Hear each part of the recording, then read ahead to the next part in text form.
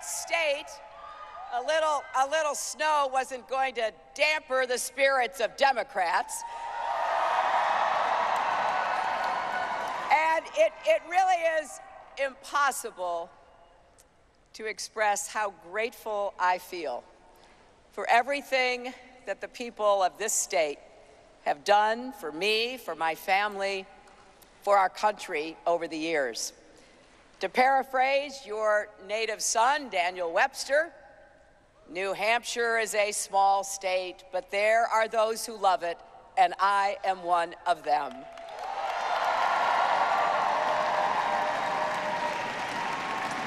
You know, going all the way back to 1992, you opened your homes and your hearts to us. In 2008, you lifted me up and gave me back my voice.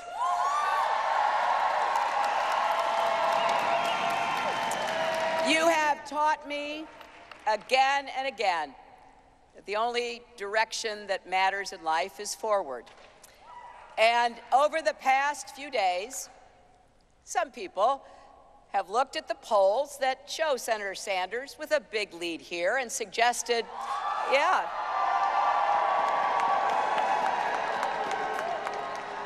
That's a fact. And suggested I should just look past New Hampshire and focus on the next states. Well, New Hampshire's never quit on me, and I'm not going to quit on you.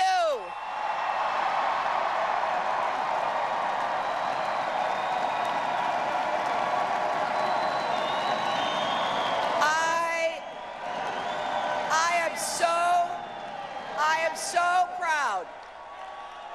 I am so proud of the campaign we've built here. Thank you, thousands of volunteers.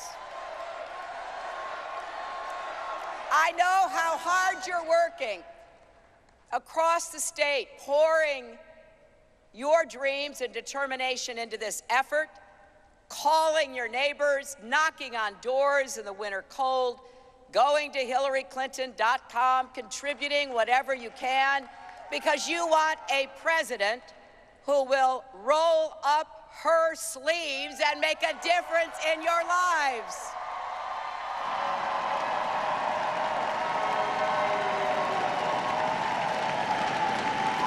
And this enormous support that you have demonstrated ranges across the state, many different people, many different walks of life.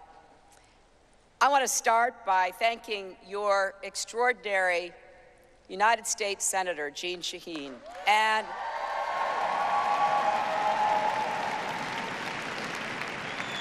I like saying this because it's just a small way of recognizing her historic achievements, but she is, as of now, the only woman in American history to have served both as a governor and a senator.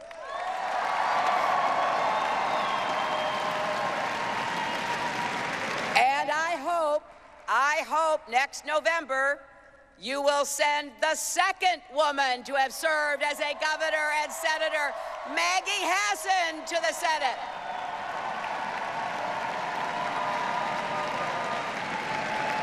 The support and the advice of these two remarkable leaders means the world to me.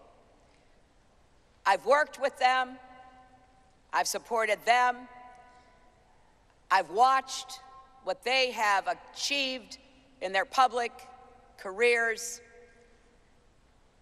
And I'm just so grateful to New Hampshire for lifting them up and for giving them the chance to lead and to serve.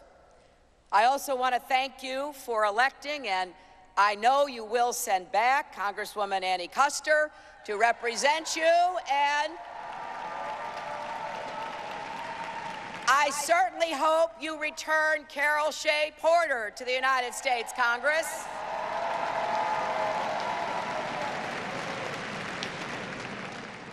But in addition to these well known people who support me, who have been truly at my back and my side, there are so many others, like Ava, an overachieving high school senior up in Berlin, who also works most nights at her family's restaurant. She still makes time to volunteer for my campaign. Why? Because she has seen how much the Affordable Care Act has meant to her family and their small business, and she doesn't want to see that progress ever ripped away.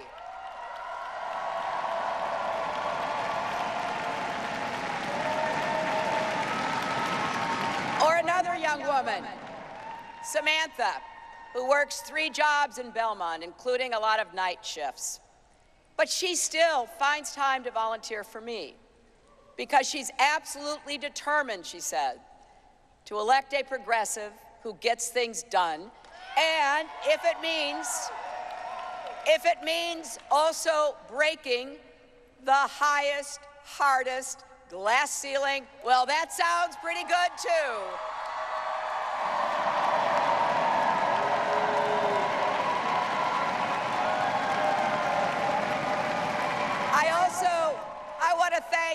Every elected official, every local leader, all the members of organized labor, Planned Parenthood, NARAL, the Human Rights Campaign, the League of Conservation Voters, and every other progressive organization who are working so hard for my campaign. Now, one thing I know for sure is how seriously the people of New Hampshire take your responsibility as the first in the nation primary. And I know that a lot of voters are still shopping. You may have a favorite, but this is New Hampshire. Everyone takes a second look, maybe even a third or a fourth look, and I hope you'll give one of those looks to me in the next couple of days.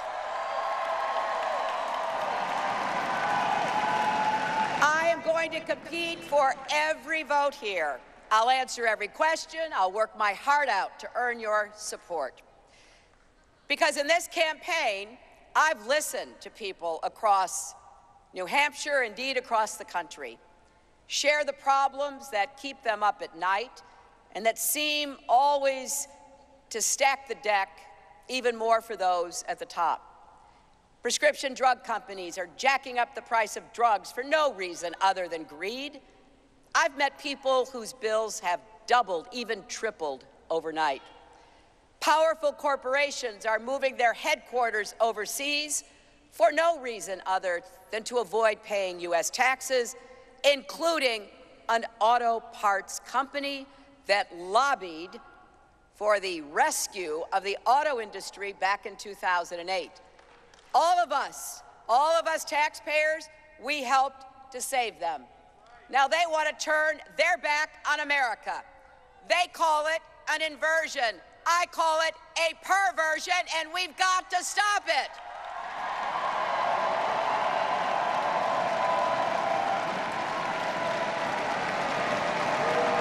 Think of this. Think of this. A governor and state government in Michigan allowed children in Flint to drink poison water just to save a buck, as if their lives weren't worth even that much. As I said some weeks ago, ask yourself, would it have happened if they were rich and white instead of poor and black? We know the answer, don't we? Senator Sanders and I agree. We've got to stop bad things from happening. But I believe we've got to start good things happening again in America.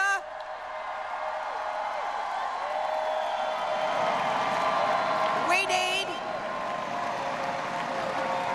we need a bold national mission to get jobs growing and incomes rising so working families can get ahead and stay ahead.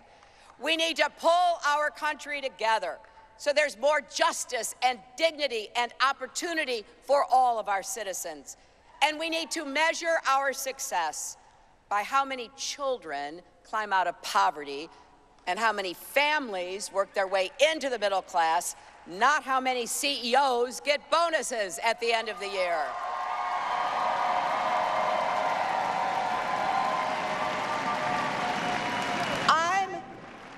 I'm running for president because I believe that America can't reach its full potential when you're held back from reaching yours. I want to break down all the barriers holding Americans back from achieving their dreams. Economic barriers, of course, especially those put in place by greed, producing inequality. But the problems in America cannot be reduced to Wall Street and Washington, as important as those are. We also need to break down the barriers of racism and sexism and discrimination against the LGBT community, immigrants, and people with disabilities.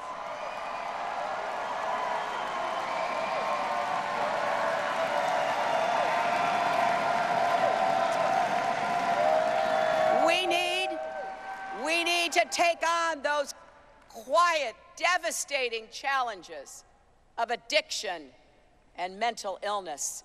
We need to help families struggling to care for loved ones with Alzheimer's and autism. I want to remove the obstacles standing in the way of people and communities that have been left out and left behind from coal country to our inner cities. Because when every child has the chance to succeed, America succeeds too.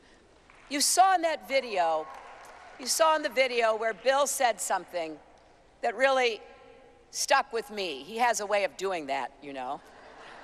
He was talking to a group of young people, and he told them, You still have more tomorrows in your life than yesterdays. And those of us who have more yesterdays than tomorrows, believe it or not, spend most of our time thinking about the future. I certainly know that's true for all of us who are grandparents, uh, because that really focuses your, your mind on the future. And if I have the honor of serving as your president, I will spend all my tomorrows doing everything I can to make your tomorrows better to give every one of our children the possibility and prosperity they deserve.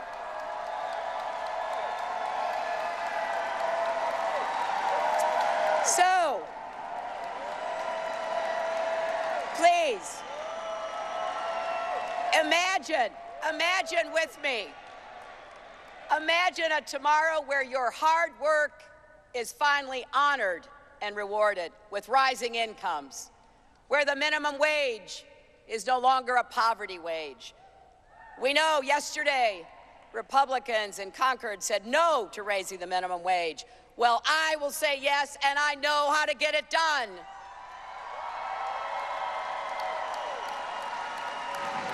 Imagine a tomorrow where we produce enough renewable energy to power every home in America and create millions of good jobs doing it I know how to get that done. A tomorrow where education lifts you up and student debt doesn't drag you down. Where young people have the opportunities and choices you deserve, and where more entrepreneurs can start and grow new small businesses. Imagine Imagine a tomorrow where parents have paid family leave so they don't have to choose between a paycheck and caring for a new baby or a sick relative. A tomorrow where we overturn Citizens United and finally get big, unaccountable money out of our democracy.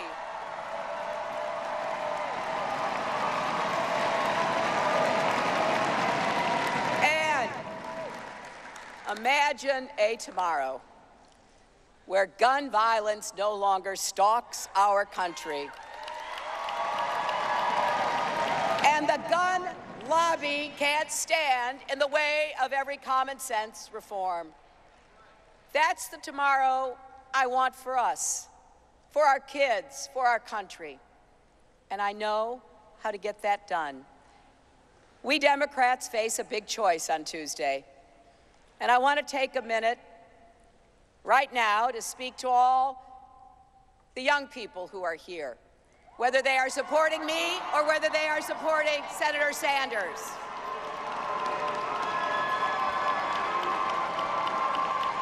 Now, of course, I still hope to persuade those who are supporting Senator Sanders to give me another look, but I want you to know that I am truly glad that you are involved in this process and in the Democratic Party.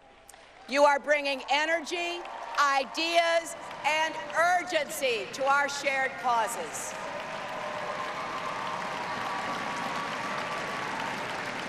And I can't help but think about how I felt when I first came to New Hampshire in 1968 to campaign for my presidential candidate, Gene McCarthy, to end the war in Vietnam.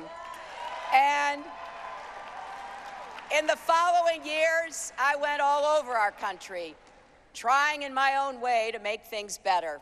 I went undercover in Alabama to expose racism in the schools. I drove throughout South Texas, registering Latino voters. And I even shocked my friends by moving to Arkansas with my then boyfriend because we were in love and so fired up to do good work there. And I learned, I learned what you all are proving every day. You can make change without being elected to anything. You just need to go do it. So I respect, I respect not only your enthusiasm, also your seriousness about helping to make our country what it can and should be. And that's why I want to take just a few minutes to make my case for why I believe at this time I am the better choice to be your president. Now, Senator Sanders and I, Senator Sanders and I share big progressive goals for our country. But I believe I've laid out stronger plans for how to achieve them and how to make a real difference in people's lives soon. And I've, you know, I've heard some of the pundits say the differences between our approaches comes down to head versus heart. Well, I don't see it that way. For me, it's both. We've had a worthy debate about health care in our campaign. We have had substantive disagreements over issues, as it should be. Compare that to the campaign of insults going on on the Republican side. So when we draw these contrasts, we do it within the context of both of us understanding we have to go to the American people. We have to explain what we want to do and how we will accomplish it. I have fought my entire career to get quality, affordable health care for every single American. And I know, I know how hard that is. The insurance lobby and the drug companies spent tens of millions of dollars to stop us. And it was disappointing because I had traveled to so many places to meet with so many Americans who were so hopeful that finally they would have health care for their families. I have a million stories that tugged at my heart and filled my brain. One in particular that summed up for me what was so profoundly wrong. It's from a visit I made to the Children's Hospital in Cleveland. And I was sitting in a conference room talking with parents of very ill children. And they were telling me how difficult it was to get the medical care their children needed. One man said, Look, I'm successful. I provide health care for my employees of the business that I started. But nobody, nobody will sell me a policy to ensure my two daughters, they both have cystic fibrosis. He said, I don't understand. I've gone from place to place. And I asked him, I said, What do they tell you when you say you've got the means, you can buy something? He said, Well, the last person I spoke with listened to me and then just looked at me and said, You don't understand. We don't insure burning houses. This man got tears in his eyes. He said, They called my little girls burning houses. We didn't get everything we wanted, but I got back up, went to work with Republicans and Democrats, and we got the Children's Health Insurance Program that insures 8 million children in America today. That program That program became a lifeline for those 8 million kids and a sense of some peace and security for their families. Now, let me be clear. I never gave up on the dream of universal health care, not for a second. And 8 million kids was certainly not everything we wanted, but it was real. And I couldn't bear the thought that we would leave children without health care even a single day longer than we had to. I think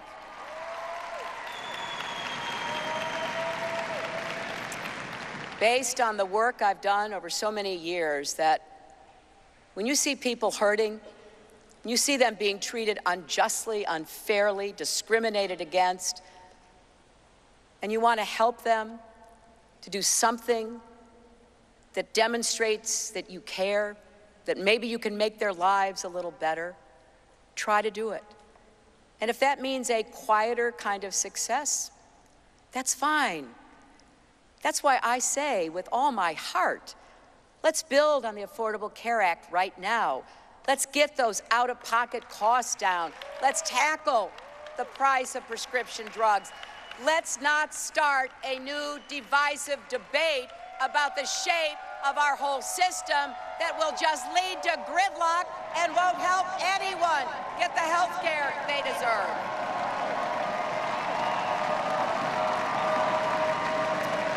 You know, the people I've met in this campaign can't wait. They shouldn't have to wait.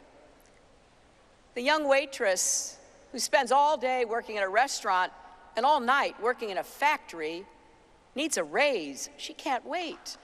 The widow I met who lost her home because her Social Security payments just didn't go far enough deserves better. She can't wait either. The young people I meet who want to start small businesses, the entrepreneurs who have dreams, they need our help and support. People to believe in them, they can't wait. Women across our country deserve equal pay for the work we do. They can't wait.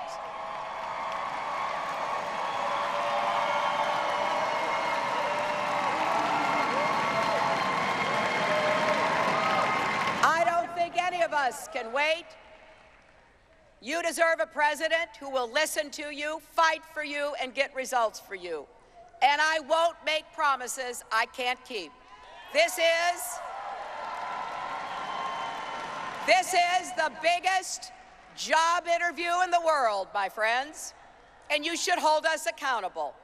I'm a progressive who likes to get things done, and I have learned I have learned you have to be both a dreamer and a doer. You have to push forward every single day for as long as it takes. And I also know a big part of the job I am seeking is keeping our families safe, our country strong, and our troops out of war. So, you are not just picking a president, you are choosing a commander in chief. And I know that sometimes foreign policy might seem a little remote. That's understandable with events taking place on the other side of the world. But things that happen overseas can directly impact your life, your job, and your family. Now, there's terrorism, obviously, but that's not all. Just in the past few weeks, we've seen problems in China sending stock markets here plummeting. That can affect your retirement savings. As we sit here tonight, North Korea is working on missiles that could reach the United States. We need a president who understands how to deal with that threat. As we sit here tonight, our troops are still in harm's way in Afghanistan. We need a president who can give them the support and the strategy they need. Russia, Iran, ISIS, these are not issues that we can put off to the side. They cannot be an afterthought. They have to be just as present on the desk in the Oval Office as all the other work we need to get done here at home.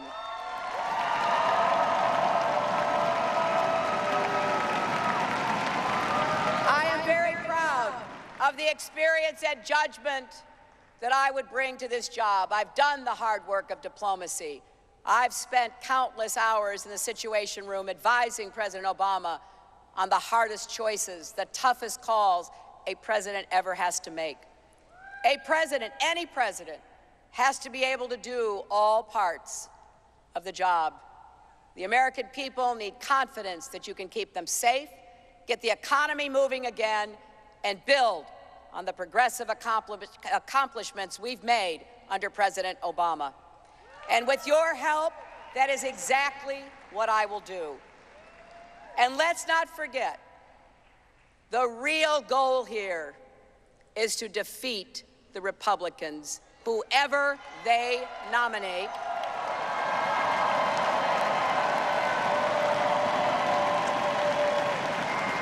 And let's face it, they all disagree with pretty much everything all of us believe in. They won't do anything to help women get equal pay or hold Wall Street accountable. Yeah, they will do a lot to turn back the clock on your rights. And I want you to know where I stand. I will protect our rights, civil rights and voting rights, workers' rights and women's rights, gay rights and the rights of people with disabilities. I will always defend Planned Parenthood and a woman's right to make her own decisions about her health.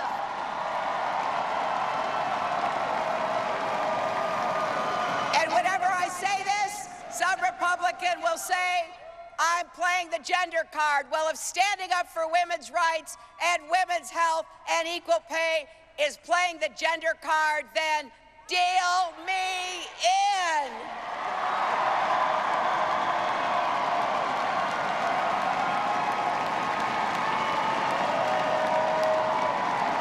I will defend marriage equality and work to end discrimination against the LGBT community. I will stop the Republicans from privatizing Social Security, Medicare, or the VA. And I will stand up to the gun lobby, the most powerful lobby in Washington.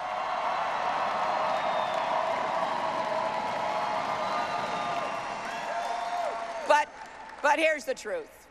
No candidate for president has all the answers. And no president can do this work alone. I know what it's like to be knocked down. I doubt there's anybody who hasn't had hard times in their life here tonight. But I learned from my family and my faith that it is not whether you get knocked down, it's whether you get back up.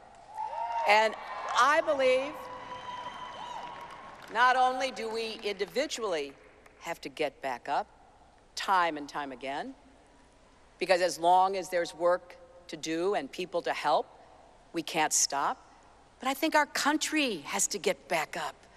I think we have to once again have the kind of confidence and optimism that is part of the American DNA, where we set big goals, where we summon the best of our natures, where we work together again across all the lines that divide us. Every day of my life, I try to practice what's been called the discipline of gratitude. Now, that means not just being grateful for the good things, because that's kind of easy, but being grateful for the hard things too. Grateful even for our limitations, because in the end, they can make us stronger. They can give us a chance to reach beyond our grasp. They can also teach us that we're better together when we work to find common ground. America's facing a lot of challenges, but I believe with all my heart we can rise to meet them. You see, I believe in the potential of every American to solve the toughest problems, to be resilient no matter what the world throws at us. I am deeply grateful for this country and for all of you. If we can break through the barriers that hold people back, if we can unleash the talent and potential of our people, there are no limits to what America can achieve. So again, imagine with me an America where your wages actually match your hard work, where every hard-hit community is thriving again with new investments and new jobs, where quality, affordable health care and child care are available to every family. We can build that country.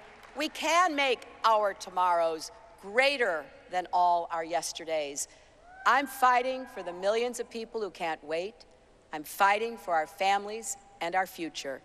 I'm fighting for the America I know we can build together and for each and every one of you. Thank you all so very much. Thank you. God bless you.